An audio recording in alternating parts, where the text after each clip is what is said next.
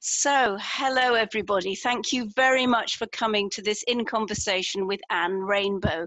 Yes, she does have a marvelous name, and I'm going to ask her to explain why she's called Anne Rainbow um, very shortly. So, just to let those of you know who are listening, we're going to start off with me asking. I've actually got 18 questions to ask and then um, after I've we've I've asked the questions and we've um, Anne has answered them uh, at length, I would imagine. We can then have a question and answer session. So you'll be able to ask your questions in the chat. You won't be asking them um, verbally because of privacy. I don't want people to um, keep being shown on the screen or have to have their names shared. So I'm going to, you can do that through the chat. If people's videos suddenly pop up on the screen, I am going to hide you again. Uh, I hope you don't think that's too rude of me, but this is being recorded and so it's important you're not there. So thank you very much, Anne. So please could you start off by telling us a little bit about you and your writing experience. Who are you? Why are you here? Well, my name's Anne Rainbow, and so we'll come back to that in a minute. Basically, uh, I started writing in 1979 when my son was born. Um, I have two children, he was my second.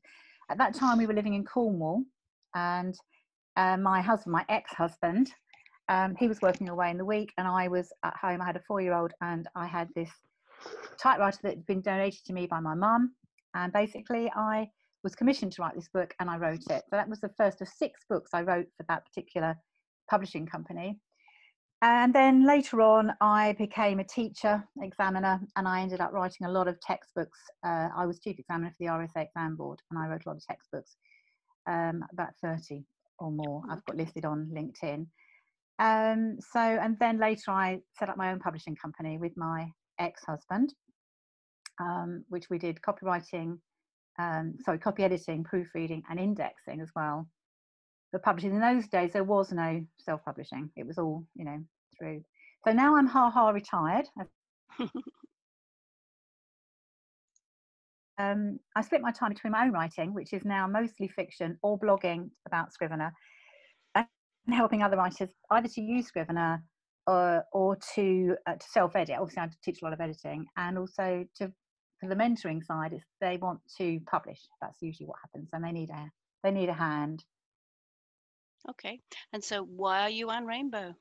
Well, um, I had lots and lots of textbooks under my old married name. My old married name was Jenny Lawson. I was born Jennifer Ann Charlton, got married, became Jenny Lawson, and I have I had become quite famous as Jenny Lawson. And then I had a poem that was accepted. Uh, just after my mum died, I had a bit of a dodgy patch and I wrote lots of poetry and my marriage broke up and I wrote more poetry. And then one of my poems got picked up to be published. And I happened to be on the phone to my publisher that day.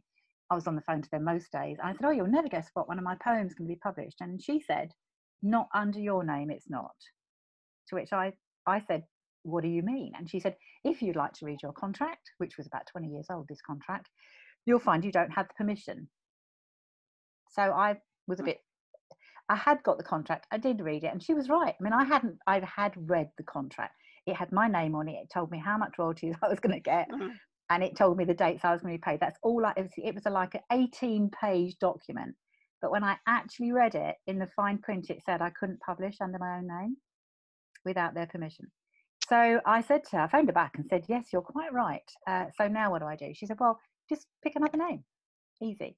And at that time, I had become known as Rainbow Maker on a lot of writers' sites because I started sailing and I was good at creating rainbows, positioning the boat and the sun and the waves.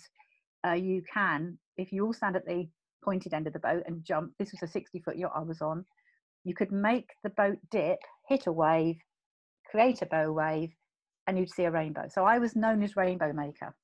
And so I thought, Anne Rainbow, and that's how she she actually existed for two years without anybody knowing apart from me and about about three or four close friends. Um, and then then my hus- ex-husband got remarried. And i you know like you just wake up one morning you think i can't be i can't be jenny lawson anymore ever. So i when i signed the papers i got my solicitor to change my name by default. Mm. and and i've been anne rainbow ever since Wow. Well, it's a beautiful name and it's a mm. memorable mm. name. Very memorable. So, yeah, so, absolutely. Yeah. So I know I didn't forget you, and I met you a few years ago, but I couldn't forget you. okay. So, um, I, you've told me a little bit about about the editing that you do. You run a business that you call Red Editing Pen no, it's called Red Pen Editing. It's called Red Pen, and red I get pen. it wrong every time. So it's called Red Pen, pen. Editing. See, Anne Rainbow's easy to remember. Red Pen Editing. Red Editing Pen is not. Which order does it come in? Well, basically, Red Pen, because um, you know you use a red pen for editing. Uh, basically, that was created oh a, a, long, long time ago within writing sites. Um, there were there was a writing site the BBC set up, and then there were other ones that I joined. And Red Pen was a one of the groups within one of those writing sites when it first formed.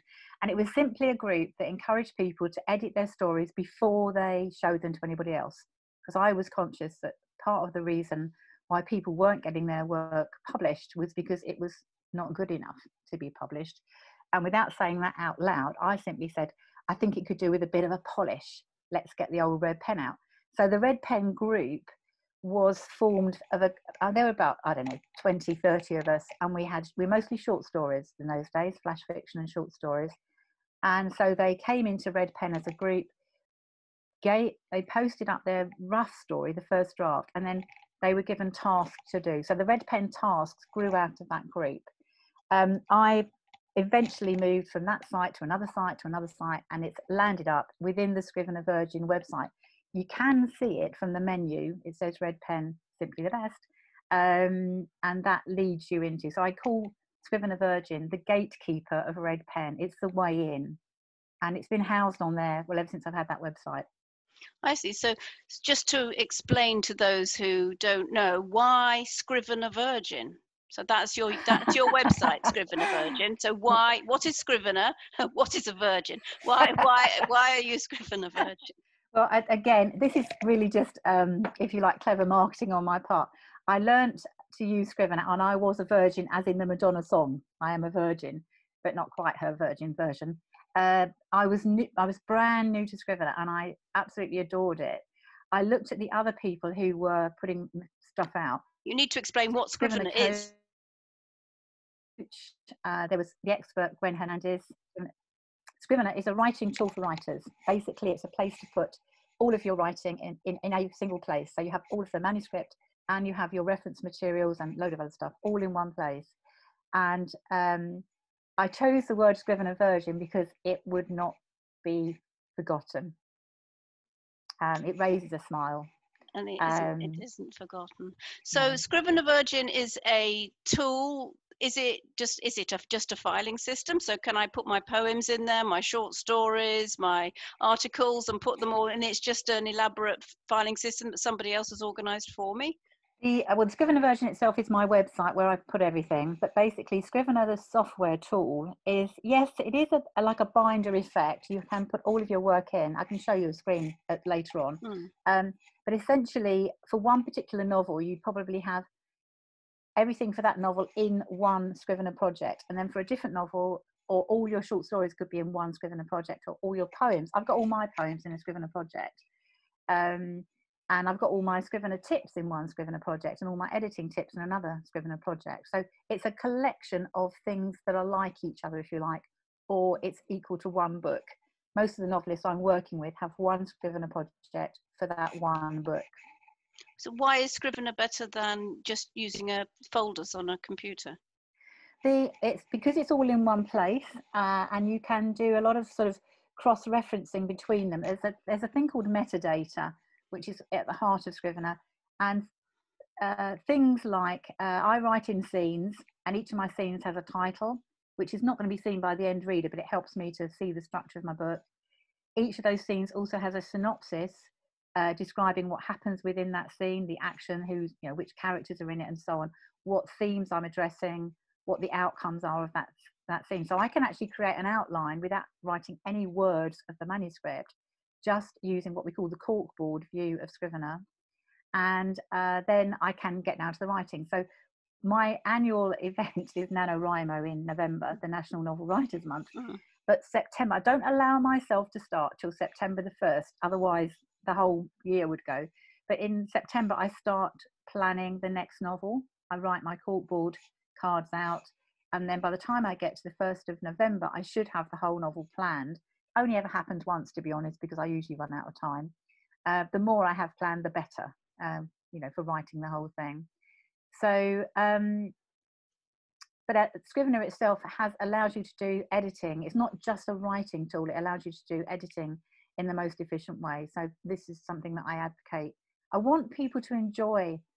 I think everyone enjoys the writing of their novels. They don't enjoy the editing, um, and I try to make it more enjoyable by making it more efficient. But mainly, so the red pen editing um, strategy is to avoid editing overwhelm. That's the that's the thing that makes people give up. Mm, um, interesting. Mm. Interesting. Well, that's that's that's fascinating. Thank you for explaining how Scrivener works, because I now can see how incredibly useful that would be for mm. a longer piece of work, like yes. writing a memoir, yep. because it's all about the planning, isn't it? Yes, it makes also, a big difference. Even if you're a pantser, which I was when I first started doing Nano, and you produce this, you know, fifty thousand plus words, which is a right mess. If you put it into Scrivener, or if you wrote it in Scrivener in the first place, you can then break it up. You can analyze it. You can see where the gaps are you can start filling in those gaps. You can do things like uh, identify only the scenes where Charlie is involved. So you can you can read only those scenes on the screen and check the constant uh, the, mm. the, continuity uh, and the consistency. You can have on the screen the scene and Charlie's um, character sketch. So ah. you know he started off with blue eyes. By the time you got to chapter 17, his eyes had gone a funny green color so you know that kind of thing you can you can do lots using scrivener that you wouldn't be able to do using something like word or whatever other software people are using Oh, excellent. Thank you, Anne. Thanks. Well, let's get on to the business of editing. Okay. So, the first thing I'm going to talk about is cutting when I was first starting off as a, as a writer, I was in my early 20s, and I remember I met a real life journalist, and he said, I'm going to give you one piece of advice, Joanna cut and cut and cut again. And so, do you think that cutting is the most important part of editing? Well, uh, yes. I mean, I call it pruning because uh, that doesn't sound quite so aggressive. Um, I actually have eight separate self editing courses, so uh, it's only one eighth of the story, if you like. Um, so uh, I do look at pruning, yes, but there's also structure and balance, which is important, which might mean cutting out scenes or cutting out characters even, but it might mean putting more in. Dialogue's really important. Uh, how you introduce people, how you use place, and how you use props is really important. So those kinds of things are uh, are important for editing. And, and, the pruning, I tend to suggest people do a light prune to start, uh, just to kind of, if you like, trim it into shape um, before they then look at their structure and then worry about a lot of other stuff. But the final job should also be a really strict prune as much as you get rid of anything that you can delete. Uh, as you say, cut, cut, cut. If, if the word isn't worth its weight in gold, it shouldn't be there. Um, but sometimes, you know, if you worry too much about cutting, you you lose sight of your structure. You lose sight of how the dialogue needs to flow. You know, everything has to work. So, so so, what would you say the easiest things to cut up? I mean, some people don't know what to cut at all. So, well, where's a good place to start? Um, I would be, I would be inclined to think about things like adverbs and adjectives. Uh, obviously, it's down to your your writing style. But I mean, Hemingway uh, famously said, you know, just cut them out before you even begin. And if you use a piece of software uh, like Pro Writing Aid, I use that as my VA. I call it my virtual assistant. Um, it is a piece of software, therefore, it's not as good as a human um, however, it will highlight words, what you might call um, wasted words, you know, things like actually and really and very and almost and literally waffly things. Mm. Sometimes they're very useful in dialogue because you want that person to come over as waffly um, or, or evasive even. But in your main narrative, it needs to be as, um, as, as crisp as you can make it uh, and easy for your reader uh, to, to, get you mm. know get the journey going.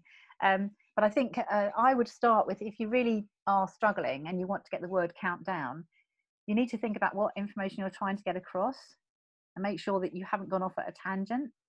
Um, so that you know you might end up actually losing a whole scene because you don't need it. Hmm. Yeah, I can see that. Uh, on the subject of cutting, even though I am digressing from the list of questions I sent you earlier to prepare, um, one thing that I tend to it, encourage people to cut is when I consider that they're writing perhaps too many polysyllabic words next to each other, and I call that lumpy um, mm. because you can end up. I, I believe that if you trip over it in your tongue, if you if your tongue trips over it when you're reading it aloud, your tongue mm. also trips over it in your head. Yes. And so I would always try and cut anything that's really too too lumpy and too too many words together. What what do you think about that? Yes, if you, if you um, I tend to read mine aloud uh, and record it on my phone. I don't do, you know, big chunks. I do maybe a scene at a time. Then listen back to it. I mean, obviously, you don't like to hear the sound of your own voice. That's everyone feels that way. But if you're in, if you're in a room and no one else is going to hear it, that's okay. And as you say, when you're trying to speak it, if you're stumbling when you're trying to speak it yourself, there's clearly something wrong. And if you think, well, it's okay, but then when you listen back to it, you think, oh no, you know i mean there are situations where you might start uh, several sentences with there was there was there was and you think no no no no no no i need to it's not just cutting it's also variety so that you know you don't sound like um, a dripping tap basically uh, so it, de- it depends very much on the writer as to what they need to cut because everyone's got their own style Mm. Uh, there might be somebody who I never use adverbs. Don't, don't you know? They they'll say I can't cut any adverbs. I don't have any. It's like when you go to the doctors and they say, go on a diet, cut out biscuits. And you say, I haven't had a biscuit for 40 years. so, you know, each to their own. But you, you know, and there are people who, I mean, Christine, who we both know, she, she uses very rich vocabulary. And I wouldn't suggest for a moment that she, that she cuts any of that because she paints pictures with her words. My writing is not like her writing. I don't I don't paint pictures that way. I paint tension or I try to paint tension. So mm, mine's, mine's through dialogue mostly. Um, so it depends on the writer. It honestly depends on the writer. Yeah, it depends on the writer and it depends on their voice. And you shouldn't try mm. and change your voice because your voice is you. You just had to maybe grow into it and learn to accept that's who I am and that's okay. And you just, yeah. I suppose, then you you really are aiming for consistency. If you're um, when you're very new to writing, it's a bit like trying on new clothes. You know, you you breathe in and you stand straight and what have you, and you think, oh, that looks okay. But actually, after you've been wearing that outfit for half an hour, you know, you can't breathe. it's you know, it's just not comfortable. and so I think with writing, you write and you write and you write, and and then suddenly you read something and you think, actually, I'm really pleased I wrote that, and you're not really sure why, what it is about it, but you've found your rhythm. Uh, you've found your humor. Sometimes it's the humor that comes through um, or somebody said to me once, you know, your dialogue's very good, which I immediately assumed they meant the rest wasn't. You know, you do, don't you? When, if someone gives you a compliment, you immediately flip it. Um, but essentially, finding your voice is a slow process. It's not something that happens over a weekend. Mm, I would absolutely agree with that. Yeah, thank you. It was inter- interesting insights there, Anne. Thank you very much. Um, do you think that we are all completely capable of editing our own work, or do you think that it is better to call in a third party? And if the answer to that is both, at what point do you think it's worth going to a third party? Well, going to a third party is going to involve paying money, usually. Mm. There is an interim uh, stage where you might have friends, you might belong to a group and you do swaps. So you might not pay them in cash, but you have to pay them in time because you're going to have to read their stuff while they're reading yours. So I would recommend that uh, writers avoid sharing their writing until such time as they've, they've done as best they can with their editing. Now, the level of their best they can will vary from writer to writer, but you can use things like Pro Writing Aid and Grammarly and all those other similar things to actually sort out the, the bare bones so that you have a certain amount of confidence when you hand it over. And then um, make it as clean as you can. If you if you're using Word or Scrivener, there's spelling spell checks and what have you that puts wiggly lines or double underlines in blue, which indicates there is an error. So if you at least fix those before you give it to anybody else, and then when it comes to giving it to somebody else to have a look at, uh, obviously this is a very sensitive thing for most people because it's like their creation, their baby, and they are very worried about what people are going to say back. And equally, the person who receives it will be really worried about upsetting you because mm if it turns out that what you've produced is really not ever so good, um, then how are they going to say that to you without without upsetting you? When I was first setting up Red Pen, I had a fellow writer called Patsy Davis, who's now written hundreds of uh, short stories. And I say hundreds, I mean like 500 short stories been published in women's magazines. And she's written I don't know how many novels. I've lost I've lost count of her novels. But the very first time she upped from a short story to a 2,000 word story, it was a uh, story called Family Recipe. And frankly, and you won't mind me saying this because we've discussed it several times over, um, it was a great idea, badly executed. Um, she had broken just about every rule in the book as to how she'd done it. Um, however, it was worth editing, and we, between us in Red Pen, I we do three tasks at a time. We had 17 tasks, so we went through six times, six circles of her self-editing, and then it was published. It was accepted for publication. So even the the worst executed story, breaking every rule in the book, you can, with guidance, edit it, edit it, edit it, edit it, and produce something which is publishable. And that's the process anyone goes in writing a novel. You write the first draft, it's bound to be not good. Um, it's bound to be you know the best you could do in the circumstances. But through levels of editing, you can raise your game. The professional editor that you might employ at the very end of the process, um, I think, is essential just to keep up the standards of what gets printed but having said that, I mean, I do know people who've got who've paid for this and paid for that and paid for the other, but they get conflicting advice back from these different mm. editors. The bottom line is, it's your work, it's your words. Um, you're the one who's going to be judged based on what it is. You have to take ownership. But I, I do think you should use um, every um, other device open to you to help you. So my own my own process, I write my draft. Nobody sees it, but nobody sees it. Um, I then put it through Pro Writing Aid um, in a. Uh, the way I do it is I put a theme through, which will throw up some things that I'm doing as far as it's concerned wrong. I then apply them to the whole manuscript. I don't put every scene through. I just get a measure of the style of writing I've been using.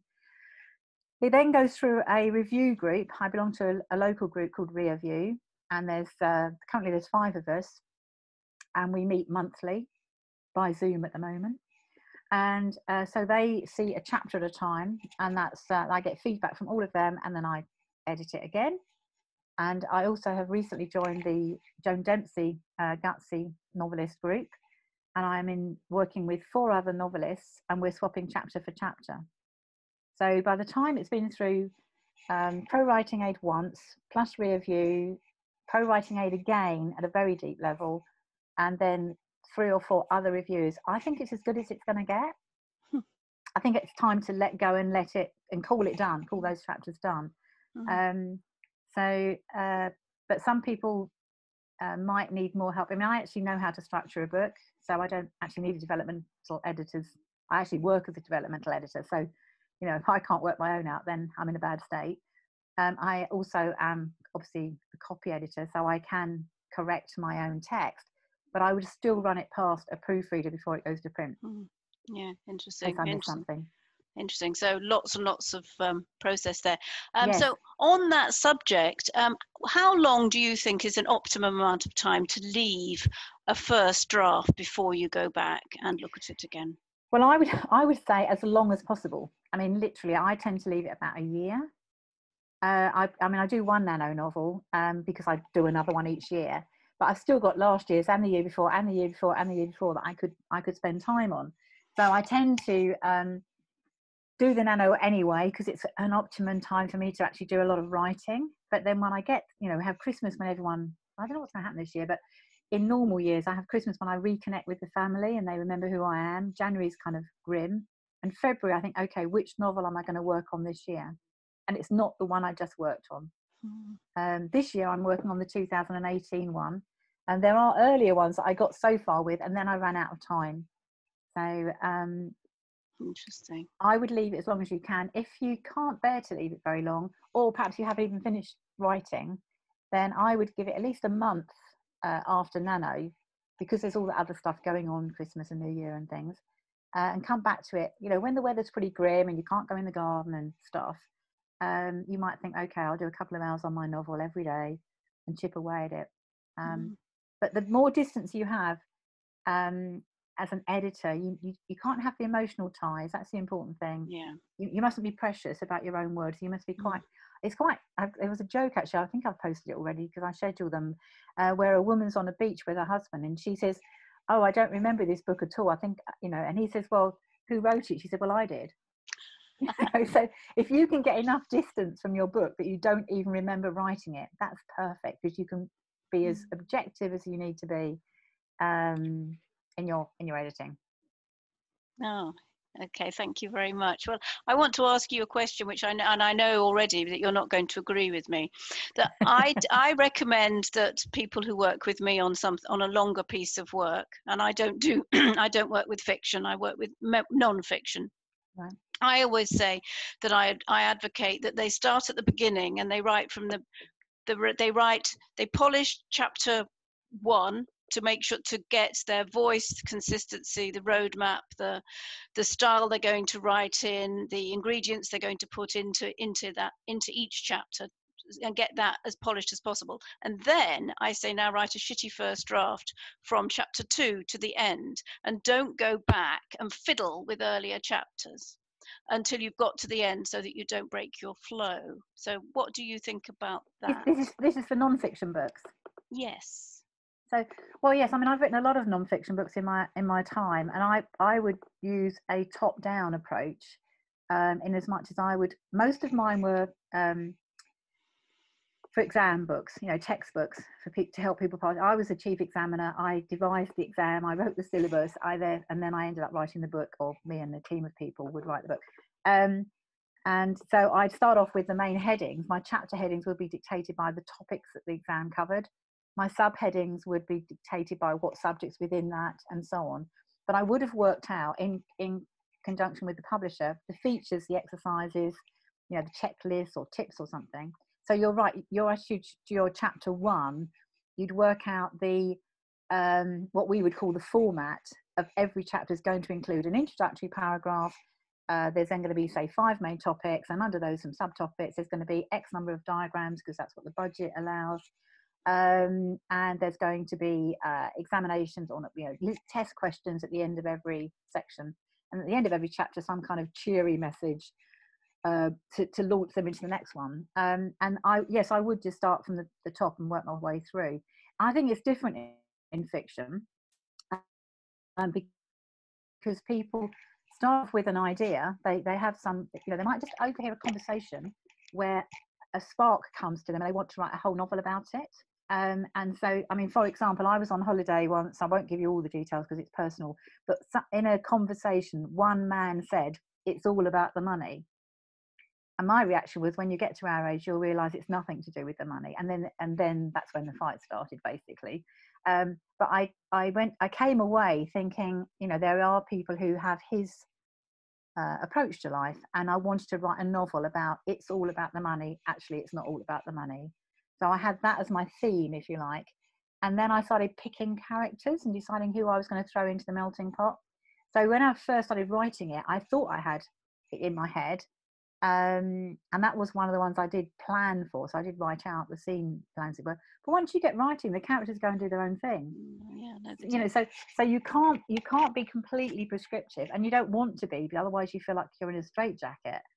Um, and it, I think after you've, I mean, certainly after Nano, I say I put it aside, I come back to it, then I read it and think, oh my goodness, you know, then I start analyzing it and seeing what I've got, what I want to keep, what I want to develop. Um, I mean, I might ditch the original theme if mm. it turns out another thing came up. Yeah. Um, I think it's important um, to, for each writer, some people I know like to write chapter one, even if fiction or non-fiction, they want to write chapter one and polish it before they move on to chapter two. My only worry is that they'll never get to chapter 17. Mm. You know, you know, life will pass them by. Mm. Um, so if they uh, if they enjoy the process of writing, just write it. Don't worry about how good or bad it is. You know, anything can be edited. You can't blank edit a blank page, but then it really doesn't matter um, how how bad that first draft is. I mean, Patsy's first draft, when I did a workshop based on it, because I, I did ask her, can we do a workshop? I asked people to read it and then tell me what three things they'd fix. And one man, who will remain nameless, said, I'd put it straight in the bin. It's not worth working on. And I said, but that's where you're wrong because she did work on it and it has been published. Mm. Um, so I think where people are um, worried about how bad their first draft is, it, it can be really, really, really, really, really bad, but you can still salvage it with help. Mm. Okay, well, thank you, thank you for that. Yes, I, I would, I like the your term, the top-down approach. I would always recommend that people start off with a a contents list or an outline so Oh, yeah. they, if, even though i always say it's organic and it will shift along the way because you'll have ideas and you'll realize that some things don't work and some things need adding and that sort of thing but to start off with a table of contents to use as your roadmap i find Mm. incredibly helpful The other thing, the difference between fiction and non-fiction is that with a non-fiction, you tend to start off with an idea you're going to cover a certain amount of scope because you want to deliver a certain amount of knowledge. That's what your, your aim is. With a fiction book, you don't really know how long or short it's going to be when you start. It could be, it could become incredibly long, or it could become just a novella. Um, and I tend to, uh, I, well, I recommend people to write in scenes, not in chapters, because uh, chapters don't need to be the same length. You're not packaging it particularly and it's only after you've written the scenes that you think are necessary for your characters that you begin to go back and think about the order in which you want to deliver those scenes uh, how you're going to spill it out you know how you're going to play your cards if you like. Um, and then after that you can worry about how you're going to group them because some chapters can be very short and some can be longer. Uh, and the length of the chapter can indicate the importance of the person who has the point of view for that chapter. Uh, and if you um, one particular book I've analysed and presented a course on, uh, Clare Mackintosh's ICU. If you analyse the length of her chapters, towards the end they get shorter and shorter and shorter, and they swap point of view, and and it you can feel the pace. It's like a race. Mm. Um, you know, the baddie versus the goodies, baddies, goodies, baddies, and so on. And you you just keep quickly turning the pages.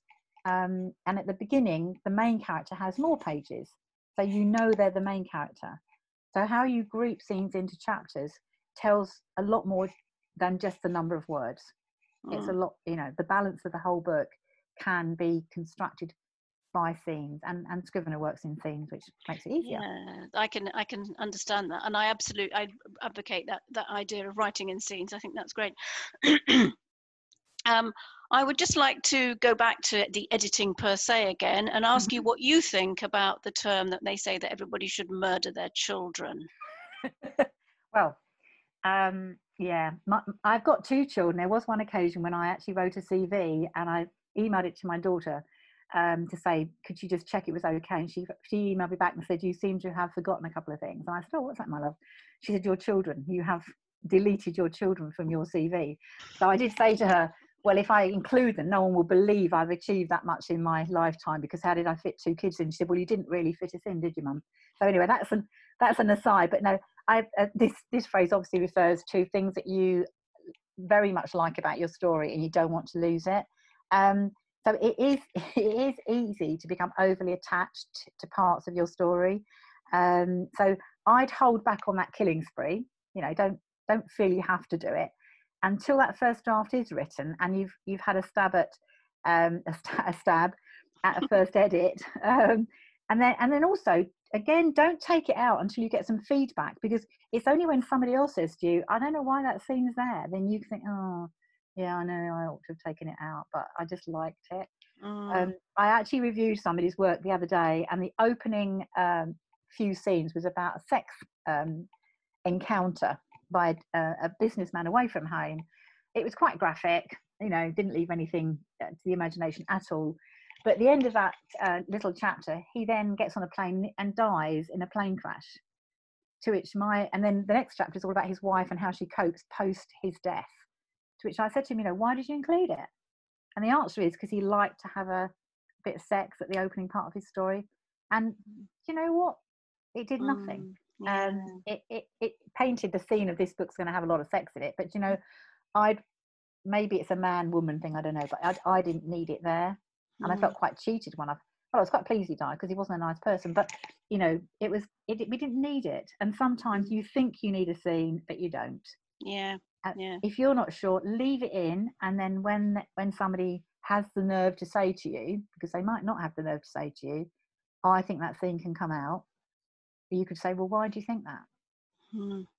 I've actually had people. I'm, I'm currently got to write some extra material for chapter 20 for my Deadwood, um, but because I I glossed over a situation and the review comments were, I want the details. I want the nitty gritty details. I think, oh, really? Mm, yeah. So with editing, with it's definitely it's editing the grammar, it's editing, it's editing the content, it's doing that yourself, and then it's getting feedback from other people. And there are people who are nervous to get feedback from others, but uh, I always say that it, you've you've got to. You cannot keep your cards close to your t- chest because you've got right. no idea how good it might be not, mm. as well as, as how yeah. as how much might need changing.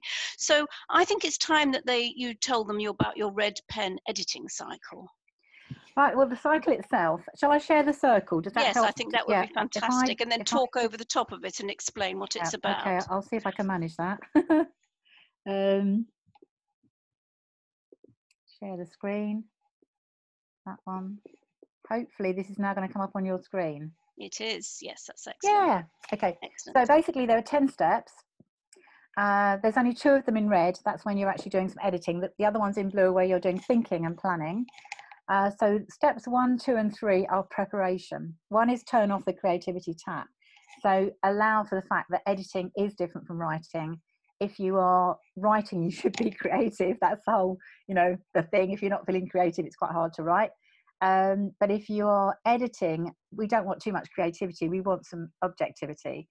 So in order to um, get your head in gear, you then need to create distance as well. Now that can just be uh, overnight. It can be, you know, go and have some lunch, come back, and then work on it again.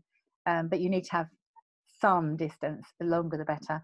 And the, th- the third point is choose your moment because if you start your editing um, session with oh this is going to go wrong i hate editing uh, you're going to make a pretty bad job of it frankly.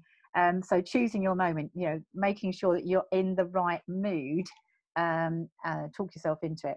So those first three are preparation stages. Number four five six and seven are when we study the content and come up with a plan effectively. So studying the content i recommend that you depending on where you are in your cycle because we go around this circle lots and lots of times. Um, and if you are, it is, this is the first time through, what I would recommend is you in your head, you have five questions that you've got, you want to ask yourself. Um, basically, how does it start and how does it end? So these are kind of gut feelings, the opening lines, and, the, and how you feel at the very end. But in the middle, um, whether it kind of flowed, whether the story flowed, maybe what the characters were like, uh, whatever things are relevant to you, how the dialogue was maybe. So you decide you're, that's what you're going to study. So maybe you record the, the story or the chapter and then you listen to it, or you're in a review group and somebody else reads it out for you. That's really, really useful. Um, so you're studying it, uh, listening with your ears, or reading it on the page. Lots of different ways of doing it. But the end result should be, yeah, that was quite good. Oh, I'm not happy with that. Whatever. You just make notes to yourself. There are then three really big questions. Are you using the right tense? Because whether you're using past tense or present tense makes a huge difference to the delivery of the story. Uh, if you listen to the story and think, yeah, I'm in the right tense, good. If you listen to it or somebody says, maybe it would work better if you're in present tense, that's a massive change because every sentence is going to need fixing. Um, number six is, are you speaking in the right voice? Have you chosen the appropriate point of view character to tell this story. And again, if you've chosen the right person, yippee. But if you haven't and you need to look at the scene again from another person's perspective, um, that's basically a rewrite of that scene. And the structure and balance is um, another, there's quite a lot of things in that checklist basically. But four, five, six, and seven are reviewing either a scene or a chapter or even a whole novel and coming up with a list of things that you know you need to, to deal with when you get to step eight, there's two sections. One is the um, the planning side, and the other part is the execution. On the planning side, you look at your list of 17 tasks that you think you need to do, and you pick three of them, only three, and you pick a you pick a selection like something really easy that will take you five minutes, something that's a bit more challenging that might take you a couple of hours, something that's really hard you're gonna have to think about it before you do any changes. So you make yourself a kind of smorgasbord of tasks and then you just do those three tasks. So the execution is just those three tasks. You've still got all those others sitting there. Um, drill down is when you look at paragraphs, sentences, words, and punctuation. Some people do this every time they go around the circle because they're a bit fanatical about it. Other people say, do you know what, I can leave that till the end. Um, if you've got to the point of step nine or eight and you think, okay, I've done my three tasks, you go back to number one. So you give yourself some distance, you create uh, the right sort of circumstances. You know you've done three tasks, so it should be better than last time. Uh, you've already got your hit list of things you know need addressing still, but you try and l- look at your story or your chapter again objectively and you hopefully you're going yeah that's better that's better mm, still not happy with that so when you get to step eight again you choose three more tasks from your list and do those uh, only when you've been around and around and around and around and around and around around and you think there are no more tasks for you to do you're pretty not happy but you know you can't do any more you ask for feedback you make sure that you have drilled down that every sentence is a sentence, it has the right punctuation, you haven't screwed up on any of the spellings, that kind of thing. And then you send it out for, for feedback. Um, and that's when you sit back and think, you know, brace myself, because what's going to come back is their version of four, five, six, and seven. They'll have looked at your content, they'll have asked themselves, are you using the right tense? They might not have these questions in their head, but they will feed back the kinds of answers that would be answers to those questions. And they might say something like, I really like Harry, but um, he's, you know, I can't see him. I can't see him. I need more, more description. Or they might say, um, you know, so, and so's dialogue is really wooden. So that kind of thing will come back to you. So then you're going to get some extra tasks from them.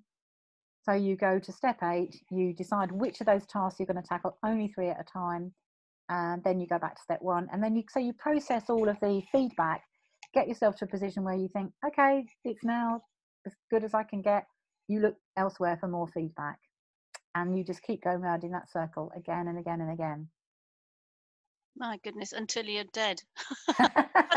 Well the, the, funny thing the funny thing about it is that if you where it works really really well is if you look at a story and think oh my god everything everything's wrong with it. Everything there's nothing right. I like three words out of the whole story. Um, you can actually just pick on you know three little things um, that you'll fix and each time you fix more and get some kind of uh, feedback maybe. I mean when i'm working with writers i see every draft so I can then say, wow, you've sorted that out. Well done. That's really good. Mm. Um, things like show versus tell, um, I might say, I might give feedback saying you're doing a lot of tell. It, it would be better if you tried to show some stuff. Writers don't necessarily understand that the first time round. So they have a shot at it and they don't really manage it. So then I give more detailed feedback as to what I what they what I really meant. I mean, I really meant the same thing in the first place. But sometimes you have to hear something over and over again before it sinks in what you actually mm. need to do to to achieve that. Wow. Um, so, if you'd like to take the screen away now, I want to ask you a question about something that you've mentioned, and uh, I think that the listeners will be really interested to know a bit more about that. If you could stop sharing yep, the screen. Yep, Hi. Um, you talked about the 17 things that you have to do where where what are the 17 things or can you no, tell us where we can find the 17 things? Um, well basically in, in the book itself i do go i have a checklist of things which you can uh, you haven't tick. told them what the book is. You need to perhaps show them quick, uh, quickly share your screen and show them what your oh, book let me is. don't get that one up. Hang on a sec. Um, i think it's in that one. It's a very useful book. I have it myself as well. Okay so i need to find how i can share the screen again. Let me just get to the right place Is, you get all these different screens. Oh no. Um, that one. That's that. Share. It's called Editing the Red Pen Way. Hopefully, that's coming up on your screen. Mm. um, it's available on Amazon. It's two pounds ninety nine, and it is. Uh, it, it, has that diagram in it. Explains the same, hopefully the same as what I just explained. I did that, um, you know, without any notes basically. And then uh, for each of those um, steps it has a checklist and you can you can download the checklist um, so that you can then tick it off yourself if you want to. But it's things like um, with characters you know where do they come in where do they leave? I mean one of the things that quite often goes wrong with uh, with writers is that they um, one, one particular author i was working with a short while ago in her book too she had a guy in a particular place who was quite instrumental in the story, and then suddenly we never heard from him again. What happened to him? Mm, yeah. So it's you know loose ends, if you like. Um, and so for every one of those ten steps, there are suggestions and there are checklists as appropriate um, on on how to do those. So yeah, go to Amazon and. Um, Excellent, thank you. So, um, wh- while you've been talking, it's it's I, it's made me think. You you talk an awful lot about fiction, but the the same rules apply to somebody writing a memoir because a memoir has got to be written with a plot and characters and scene absolutely. and everything else. So it's exactly the same principles that one Yeah. needs to apply. The only thing, I mean, if you're writing a non-fiction book, you might not have the issues of uh, tense because there is you don't get a choice basically. Um, uh, I when I was writing my textbooks, I used to have two voices. One which was a you must do this, like there was no argument, you will do this, and the other one was you might like to do this, which was kind of you know you you get a choice here. Um, so I used to use different words, uh, different verbs, and constructed the Mm. verbs differently. So it came across like a bark if you were to do this without any argument, and it came across quite gentle if it was something you could, you know, had some kind of leeway on. And I think if you if you can develop your voice um, in non-fiction quite early on and have the right tone and everything, that that works really well. Um, but usually, I say tense is usually past tense in in non-fiction. because- Well, it, it is and it isn't because there are an awful lot of memoirs that are written in the present tense.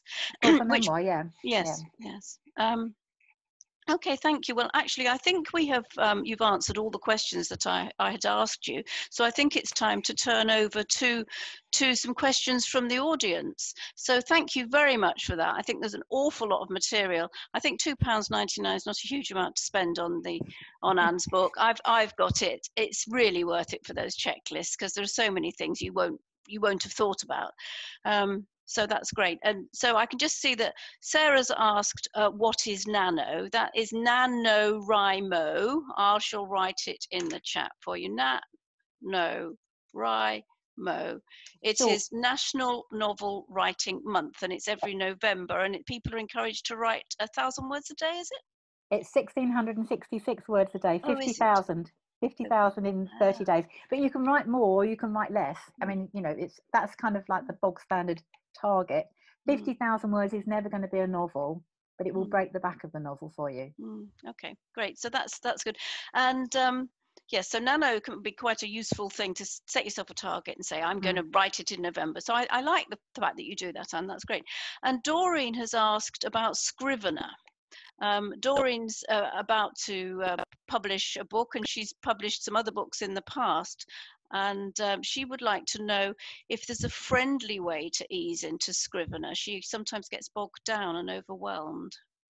The um, right, well, it, Scrivener's got a lot of features, and I would, I would suggest you stick on a, a sort of uh needs must basis. Only learn about the things you need to use, and each time you need to do something slightly differently, then you could explore another feature. I do have a 14 day. Um, I ought to change that really because 14 days is a bit Trey's description. I don't know anyone who's done it in 14 days apart from one man who's been in correspondence with me for the last fortnight and it would appear he is doing one of my lessons a day. He can't be doing anything else. He can't be sleeping or eating or anything.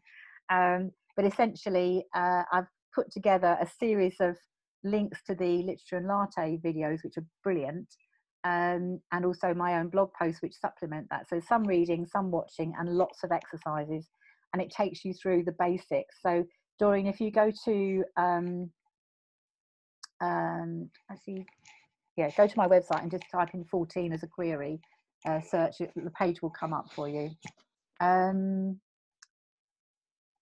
yeah, but it's you did one day at a time, learn it as you go. I do publish a Scrivener tip every day on Facebook, on the Scrivener Virgin Facebook page.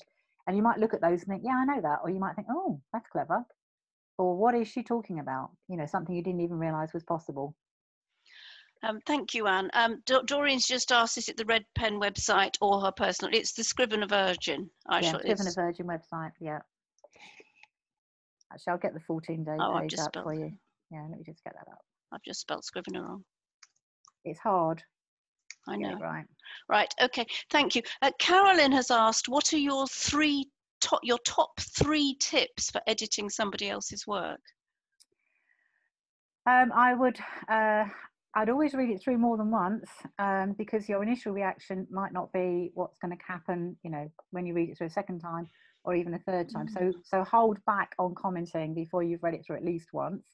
Um, I would. Um, I would be aware that what your what the writer wants to know is the effect on you as a person rather than me as a an editor or me as a writer so rather than saying oh yes you know you've um you've broken this rule and that rule and the other rule rules are very subjective anyway um so so make sure that you are referring to the writing not the writer and referring to its effect on you not your belief system as far as how one ought to write stories.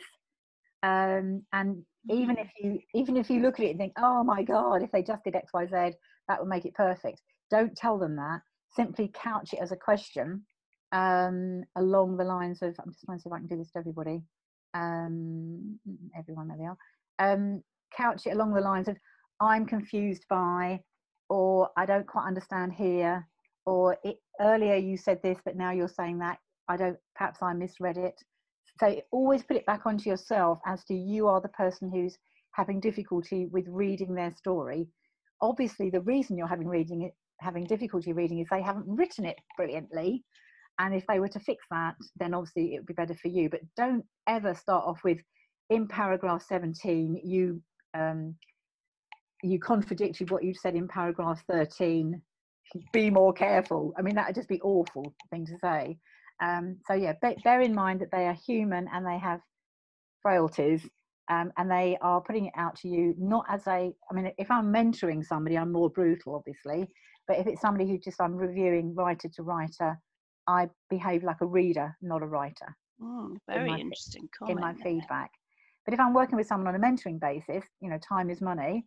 Effectively, I will I will open with some positive, obviously find some positive things to say um, about how this is much better than last time, or how you, this made you laugh, or this made you smile, or you really got caught up in the story. Something which is reinforcing the value of what you've read, and then say um, it's coming along nicely. Uh, you know, as if I'm working as a mentor rather than um, just a reader, uh, I'd pick out some things, some issues that they needed to address. Maybe the dialogue, maybe show versus tell.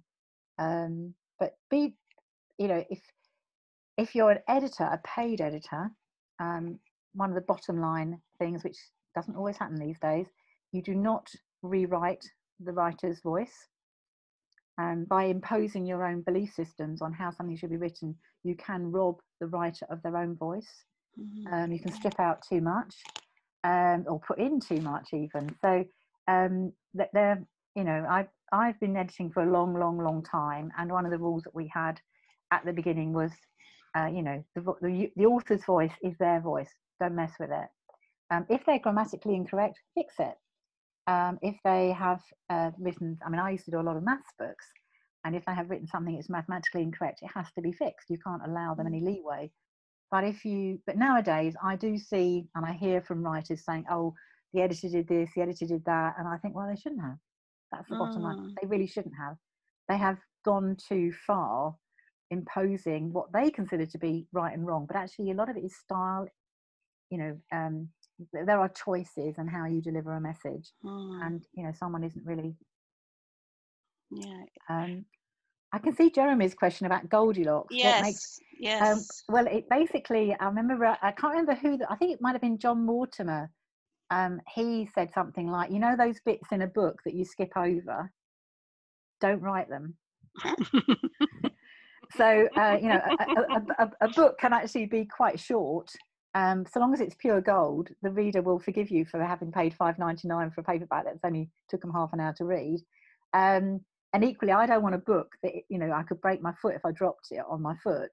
If it's a lot of padding and you think oh dear oh dear. Um, so it's it's, ne- it's not never mind the quality feel the width it really is the quality that matters. So it doesn't matter how long it is um, and it doesn't matter how many chapters. Somebody said to me the other day, "Oh, you got to have thirty-two chapters." Uh, no, uh, no. Mm, yeah. um, but there are so there are certain rules, if you like. I mean, one of the rules that um, I give to my authors is that if they want the book to have a spine so that it can go sideways on a shelf, they have got to make sure that it's about but it's got to be 80 pages, I suppose. Um, so, um, oh, somebody has appeared. Um, it's got to be it's got to be 80 pages or more or you don't get a spine so that is yeah. something that, that really does matter because if you haven't got a spine you can't put the the title of the book on the spine which means it won't go sideways on a shelf which means a bookstore's not going to like it so and also you lose it as well and it looks like a brochure so yeah. that's a very that is an important rule the other thing that i have learned from um, along the way is that if you're going to be writing a novel, there are some, novels novels have a low price point um, relating to the number of pages they have. Very mm. often you might have a, a novel that might want to be 400 pages, but that makes, but you can still only sell it for 8.99. So mm. it's actually, there's not much profit in it. So publishers are not going to necessarily want to publish somebody, particularly a new writer who they haven't tested before, who's written a book of 120,000 words yeah, because it's going to make it, it's going to make it too many words and too, therefore too many pages. So, um, so I think there is that to think about. I tend to, for a memoir, I think I think it could it could be as little as thirty five thousand words. I would say, but mm. I'd be interested to what you think. I would think, say, probably 55 would be where I'd go for a bottom line, which I think is what Mills and Boon say. But I would say probably up to about 85, 90,000. What, what do you? I think, think I think a lot of this. I say you're being um, you're being shoehorned into categories which are uh, determined by publishers who obviously are necessary because they're the ones who are going to mm. publish it for you. Mm. Um, so if they, but I wouldn't want to produce, say, 80,000 words because somebody gave me that magic number, but those 80,000 words um, could have been edited down to 50,000 because there's a lot of waffle. So I would be inclined to sort of write the best you can for however long it takes. If you then find you've only got 55,000 words and the magic number is 80, you need to develop your story. I mean, to give you an example, I wrote a, I wrote a short play, uh, 25 minutes long, um, on a course, and it was pretty good. If I say so myself, it was performed and it, it went down well. And then somebody else said they quite like one uh, similar theme, but for an hour. And so I thought, oh, okay. So how am I going to how am I going to stretch my 25 minutes into 60 minutes? Um, and so I spoke to the teacher. We were friends, and he said, don't just try and pad it. Do not try and pad it. You know, you really must come up with more scenes, more action, more development of the story, more about the characters. You probably need at least another two characters. So uh, it, it's the same with a novel. If you've written what you think was total story, or uh, even your own memoir, maybe, and you've written 55,000 words, and somebody has told you you need more or less, then it's a case of well, don't just don't just spread it out think about what extra themes you might cover or what extra characters might come into it if you want to make it longer. My main issue with writers is they tend to turn up with 120,000 and say, oh, I can't cut anything. And you think, do you know what, you can. You could probably cut it in half. Well, 80,000, 80 to 100,000 for a novel is enough for most readers. Um, so, um, and you find they can cut it down. Um, Ten percent, ten percent of, of 120,000, it comes down quite dramatically. I mean, if you've only written a 2,000 word story, um, then you're cutting that by 10%. It's, it's neither here nor there. But if you take a novel that's 120,000 and you take off 10%, most pruning can be to 10%. That mm. really pulls it into shape. Mm. Um, and so, and on the chapter length as well, I think uh, if you look at I think it's a story called Silk, which is about the Silk Road. Some of their chapters are one page long, half a page long, and a chapter can chapter has to deliver a certain amount of information and no more. There's no point just writing more because you feel it needs to be longer. Mm, yeah. Well, thank you for that. I, I, have actually a couple of other questions that have popped into my head because I can see we've run out of questions there, and then we'll finish. Um, one is, what are your thoughts on if you're writing a memoir in the present tense and then you want to have a flashback, what are your thoughts on what the tense should be for the flashback? I would go into past tense because you're describing what's happened in the past and it makes it quite clear to the reader that you are, um, you know, you've dived back in time, as it were. Um, yeah, so I, I, would say that too. I would say, and I'd just be interested to know if you agree with me, that if they're writing in the present and they want to flashback, they should write it in the past. If they're writing in the past and they want to flashback, they should they should flash back to the pluperfect, the had. Do you uh, they, agree yes, with that? Yes, yes, they should. Um, the only problem with that is that if it goes on for too long, if the flashback's too long, it, it, it echoes too much. Um. You you could um, if you can break the scene up or in, in such a way that it's clear that what's coming next is a flashback, either by putting maybe the date at the beginning of the you know where it starts oh. um, and then you can you can stick to just using simple past tense oh. having lots of hads kind of echoes yes uh, yes um, in the in a in a fiction situation um, one i had a situation only the other day with somebody i was reading their their chapter and they had presented the order of events for a particular day not in chronological order. Um, so that you know the day started off, they went to the library, then they did this and they did that, da da da da da da, and they ended up having a meal with somebody in the evening. And during the literally waiting at the door to go into the house where they're going to have the evening meal, they flashed back to what they'd done earlier. So the day was choppy, to say the least, but they also had in their novel flashbacks to 10 years ago and 20 years ago, childhood and so on. And for people who um, who want to have flashbacks, make sure they're their flashbacks to before the start of the novel. Uh, Not, I mean, fantastic. I mean, you can have. I mean, I've got one in one in Deadwood where she wakes up the following morning and lies in bed and thinks over what happened the night before, which was a sexual encounter. So I'd left the previous chapter that the you know the door opens and it's obviously going to happen, and the reader thinks, oh, I would have liked a bit more detail, but they're not going to get it. But the following chapter starts with she lies in bed thinking back, and then she gives the reader enough of the flashback uh, to the previous night for the reader to know how she feels about it, not necessarily a blow by blow account of what happened. So you can, within a novel, flashback to something that happened yesterday, or you can remember when you met them last month.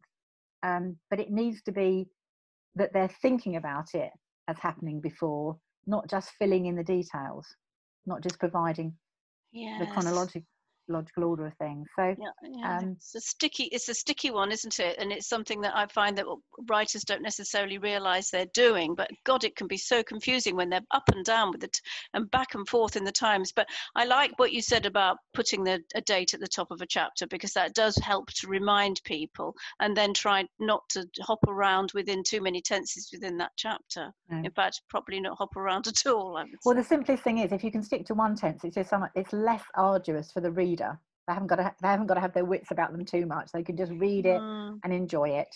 Mm. Um, uh, yes, I would agree. I can see you've got another quite another couple of questions here. Can you see them, Anne, or do you want me to read? What about out? using present tense for flashbacks and past for the main? Uh, yeah, you can do that if, if if you if you make it quite clear to the reader. Uh, and in fact, you see, as soon as you go into present tense, it becomes more immediate, uh, and it can be more. You know, if the flashback was to something horrible or something or something really nice, uh, not just something ordinary, um, then you can actually deliver it much more powerfully if you use present tense. But it has to be quite clear that that's your your way of doing things. The opening chapters of a novel or any story come to that train the reader to expect what's to follow, not not what's going to happen, but the manner in which it's going to be delivered. So if you write with a lot of humour, then you want to make sure there's some humour in the first page. So they think, oh, she thinks she's funny, does she? Um, you know, so they get used to that. If you're going to be deadly serious, um, then you need to make sure you stick to that the whole way through your book. So if you are in the habit of having um, present tense flashbacks when the main line of story is in um, in past tense, you need to manage that in the first chapter to kind of uh, prepare your reader for the delivery style that you're going to use. Don't suddenly slip it in in chapter four. They think, what's going on here?